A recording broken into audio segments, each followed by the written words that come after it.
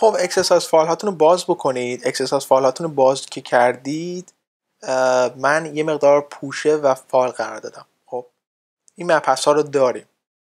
مپسی که فعلا ما خب باش کار بکنیم work هست. پوشه work فعلا فایل XML فایل یه فایل دیگه هست داخل بغل این پوشه هاست اسمش هست example snippets. این رو باز بکنید یه همچین چیزی رو به صحنه میاره به همچین چیزی رو میاره بالا. خب و من شماره گذاری کردم. فعلا مبحث ما working with XML هست. چون داریم در مورد ورک صحبت می‌کنیم. تا اونجایی که یه همچین چیزی قرمز هست همینجوری که بریم پایین تا مبحث بعدی فعلا از این سنیپیتس ها استفاده خواهیم کرد. فعلا این بالا نوشتیم first XML file. پس بنابراین من میام این چی رو باز می‌کنم. first XML file رو با Sublime Text باز می‌کنم. به من که باز کردم اینجا می‌بینید که بالا نوشته XML version 1.0 encoding UTF-8 درسته؟ کاری که می‌کنم میام خیلی سریع میام این first tag رو کپی می‌کنم و میام اینجا paste می‌کنم. save می‌کنم. بذاریم داخل یه tab save می‌کنم و کاری باش ندارم.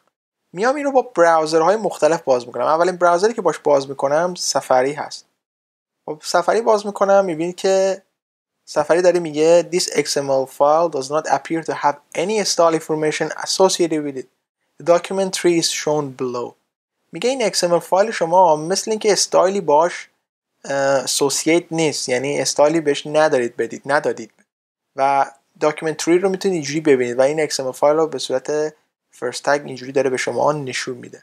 توی Internet Explorer که من ندارم اون tag XML رو هم نشون میده که اول اول بالا داریم. که اگر من source code به شما نشون بدم می‌بینید که اون tag XML رو بالا داریم. خب من این با این Safari من زیاد با چیز کار نکردم با اصطلاح میگن Safari inspect element Safari.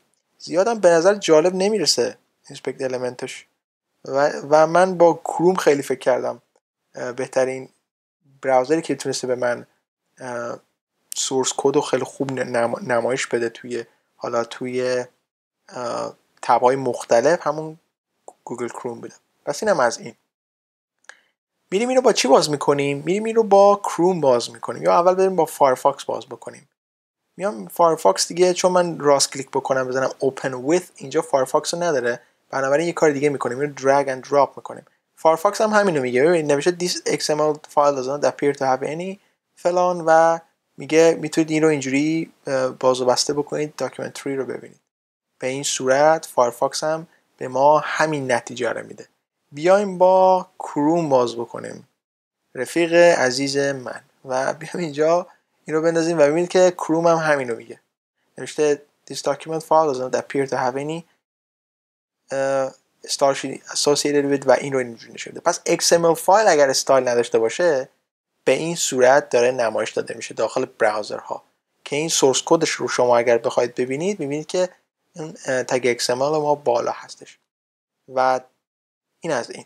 خب من جلسه دیگه می‌خوام به این استایل بدم که شما ببینید جلسه دیگه که متوجه بشید که بدون استایل و با استایل چقدر فرق کنه ولی inspect element Google Chrome واقعا خیلی پیشرفته تر از Firebug و Safari هست. نگاه بکنید. Google Chrome واقعا فوق العاده دونه دونه این tab ایی که شما دارید اینجا می‌بینید از نظر برنامه نویسا به درد ما می‌خوره. حتی این audit حتی این کنسول حتی این resource. و شما نمی‌دونید چقدر من از این resource و این frames کمک گرفتم که ببینم فایل هایی که آپلود کردم واقعا وجود داره و واقعا بهترین browser به نظر من همین گوگل